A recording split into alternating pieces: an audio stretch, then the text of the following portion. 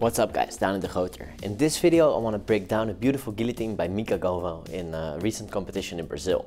He did this against a black belt, so you know it works at a high level.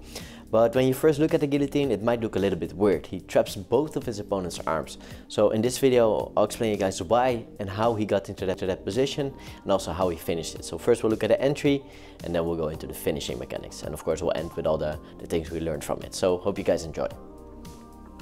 So they start uh, standing up and Mica initiates with a beautiful arm drag to an inside trip. Of that takedown, his opponent defends, gets back on top, but Mica locks a guillotine and he traps both of the arms. So we'll go into how he, how he managed to trap both of these arms in just a bit, but this is the, the sequence. Let's take a look at it from a different angle. Mica takes him down, his opponent counters, so good scrambling by his opponent. Mica traps both of the arms, so his opponent is in a really bad position. Now Mica can put the pressure on it. So how did Mica manage to trap both of these arms? To understand that, we'll have to um, take a deeper look into the position. So why would his opponent get his arm trapped like this? This is a black belt we're speaking of, so he's not making any stupid mistakes here. He's actually going for a legit move.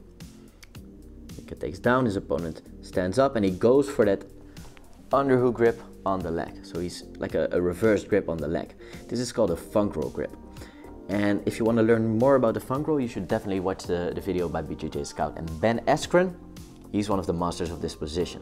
So I'll put a link in that uh, for that video right on top here. By using that grip, you can easily counter your opponent's takedowns.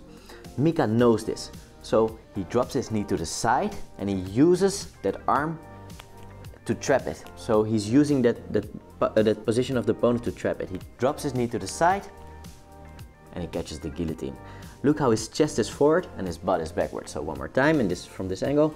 His chest is forward, his butt is backwards. Let's take a, a slower look from this angle. Mica takes down.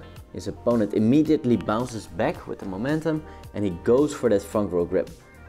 Mica sees this, he sprawls back with his knees to the outside so he's not getting taken down by the funk roll. His chest is far forward. This is an important detail. Your chest should always be in front of your butt when you do guillotines from bottom. His head is also above his opponent's head, making the guillotine possible. And from there he can start to finish. So how did he finish? Let's take a look at that now. He traps that funk roll arm and the other arm is also caught. So he goes for arm in guillotine. He's holding the head with his right hand, the arm with his left hand, and then he locks his legs around the opponent's body from the other angle. Look how he's squeezing with his right arm. The right arm is on the neck and the left arm is supporting, and he's got both of his legs wrapped around his opponent's arms. Okay, for the finish we need to look a little bit more in slow-mo. Drops the knee to the side, falls back, catches the neck, and now he throws his left leg over his arm as well. So he's creating a closed position and this is also a very important concept in guillotines. If you just keep a loose guillotine and you don't do anything with your lower body, your opponent is gonna escape. They're gonna go to the correct side, they're gonna flip out. Uh, you don't want any of that. So instead of locking his legs around the body, Mica decides to lock his legs around the arms. And from there he puts on the, the finishing pressure. So how did he actually finish? He's using the pressure of almost like a 10 finger guillotine. Uh, for those who know, you put the head on your chest and then you curl your hands up. And he does the same here. So he gets that arm in gri uh, guillotine grip, he locks both of the legs over the arms. And from there, he's using his chest to keep the top of the head in place and then he curls up his hands to create the pressure, creating a very strong, nasty grip.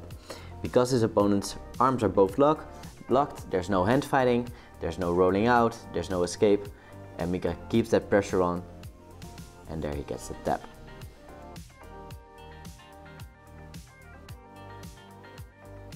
Alright, so when you first looked at that sequence, you might think, how, how did this guy end up with both of his arms trapped underneath uh, Mica Galvão's legs? But hopefully after watching this video, you understand the situation a little bit better. His opponent was going for a funk roll, so he wanted to get that reverse grip on the leg and use that to get out of there. Um, if you want to study more about the funk roll, again, please study uh, the BJJ Scout videos. He did a, uh, did a great series about this.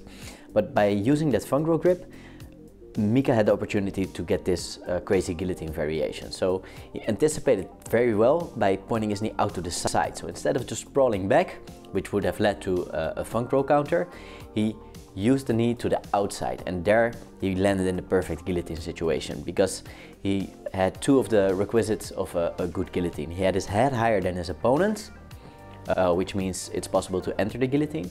And he kept his chest in front of his butt, which gives him the perfect uh, angle to enter the guillotine and a lot of finishing power without any opportunities for uh, the opponent popping his head out. From there, he locked the guillotine, arm-in grips, but with that chest on top of the head, so he could use the pressure of a, of a 10 finger guillotine.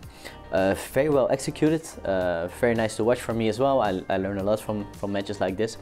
If you guys like this video, please leave a like, leave a comment, subscribe to the channel. And if you have any other guillotines you would like me to break down or to have a, a further look at, also leave them in the comments or send them to me in a, in a private message. And I'd love to, uh, to make a video about those. Thanks for watching.